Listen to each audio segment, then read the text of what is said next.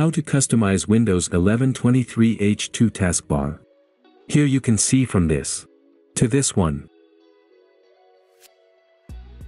Okay let me start. Open any web browser that is on your computer. Up here type to search Windhawk and press enter. OK. Click to open this first website.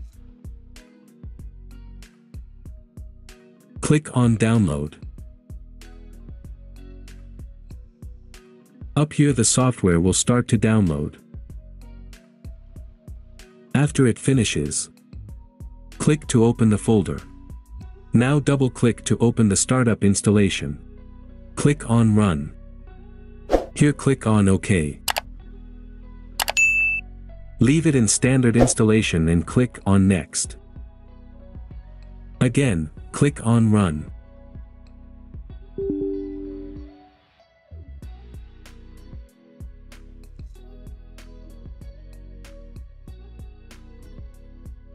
click on Install.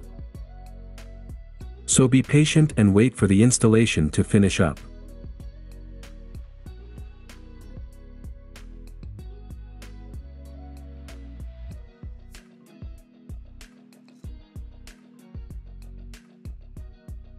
Click on Finish. Now this software will launch after the installation.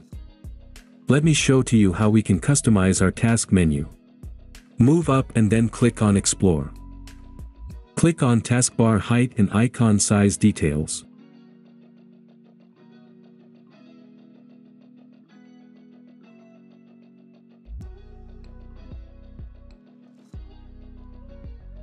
Now click on Install.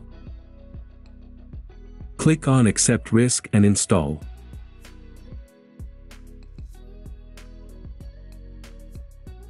the software start installing.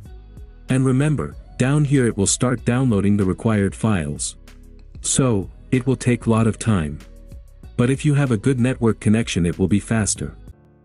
So, you have to be patient here until it's done. Let me speed up this process because my network is not good enough. Okay, when it's done. Let me show to you how I can customize this taskbar. First, let me first reduce the icon size. Click on Settings. Under Icon Size. Change this to 20. Click on Save Settings.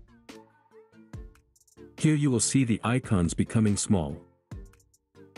But to see the better changes, go and change the taskbar height to 30. and taskbar button width to 35. Click on Save Settings.